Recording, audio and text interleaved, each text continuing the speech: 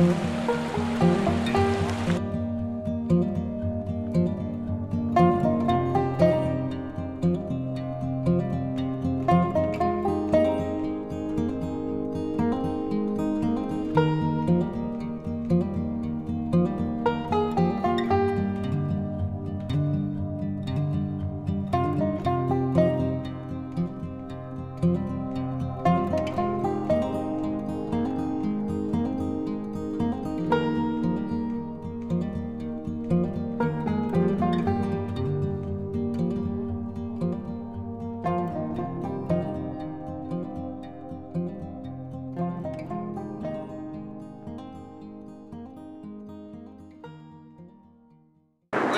We take a minute and explain to you how our preheater is working.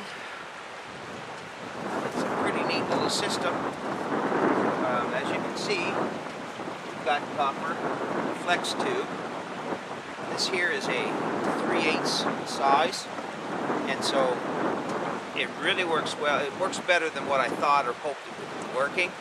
Um, so what I've done is I took this tubing and I wrapped it around my stovepipe. Course, this stays hot. And then I put myself just a little uh, shut-off valve there. Nothing too big. You just get it at Home Hardware. That's where I bought all this stuff at, Home Hardware. And uh, I ran it all the way around. Brought it over here to what's called a bulkhead um, fitting. And it goes into this. This is just a cheap little uh, tote that you can pick up, a storage tote. You can pick them up at Walmart, anywheres like that. And I put that uh, in there, connected the tube to it. And what happens is it's just enough gravity feed that it feeds into this, goes in through my worm coil, and then comes out into the uh, back of my boiling pan. This holds about 20 gallons, so it works really well. And over here, you can see it just trickles in here. What's good about this is that it keeps the sap warm. So no cold sap is coming into my boiling pan. Now, I've sped it up here a little bit right now, just to put a little extra syrup or sap in my pan, because it was boiling off pretty fast. Um, but it's working excellent. It heats the sap. I don't have to preheat it anywhere else. Everything's right there. And to, I've, seen people make these, and their struggle was always how to keep it tight, the coils tight, as they wrapped it around their stovepipe. What I did is I just took some plumber strap, it's metal plumber strap, and I started my coil, and then I anchored this one end with plumber strap. And then I took wide swings around keeping some good weight on it. And I made it really tight around my stovepipe. And then once I got it to, to where I wanted it I took it and just anchored it to the front of my pan there for to hold it in place. And then as I did that I put little places where I put some more plumber strap and held everything in place once I did that, everything stayed tight and the coil is working perfectly.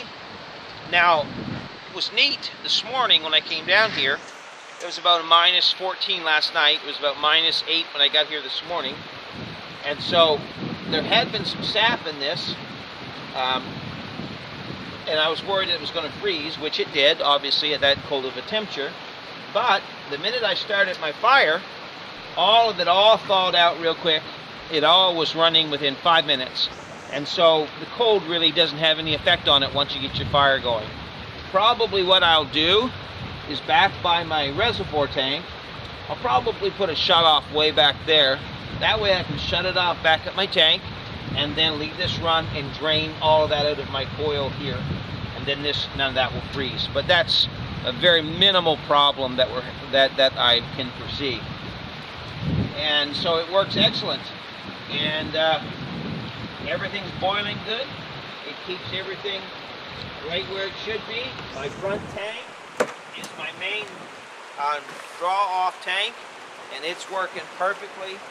Um, as you can see, you can't see me, but there's lots of steam, lots of evaporation going on.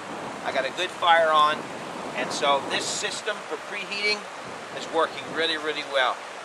Now I did see a couple guys say they had a problem keeping their sap warm because it wasn't close enough to the pipe.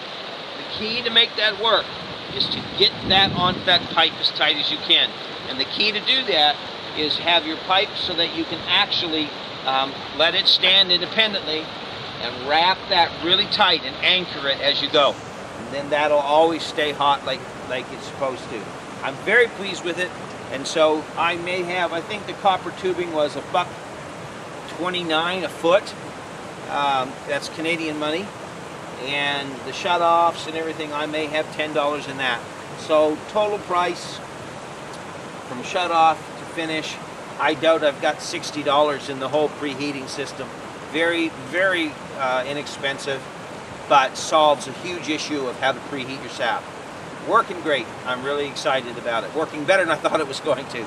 And so, uh, you know, there's a little nifty idea if you want to preheat your sap, low cost, there's nothing fancy, but hey, when you're out here and you're homesteading, DIYing it all the way, things like this, that's all you need. It works perfect. Thanks for watching. If you like it, subscribe to our channel. We're new to this. We need all the subscribers we can get. Forget to like us, thumbs up. If you get any questions or comments, leave them below, and we'll get back to your questions or comments as quick as we possibly can. And yes, we do have syrup. Um, we are selling syrup. We're not sure about how to ship it to the U.S. or even if we can because of the stipulations on shipping liquids across the border. Um, we will. Some of you have asked about it already. We'll check on that and get back to you. If we can, we'll get your address and we'll ship it to you um, right away. Here in Canada, obviously, if you're close to where we're at, which is in uh, uh, basically in Nova Scotia, a little place called South Williamston. It's between Lawrencetown and Middleton, uh, right off the side of the road. You can come here anytime for a visit. We'd love, love to see you. But if you're in Canada and you'd like to have some syrup, we gladly ship it to you as well. So anyhow, y'all have a great day.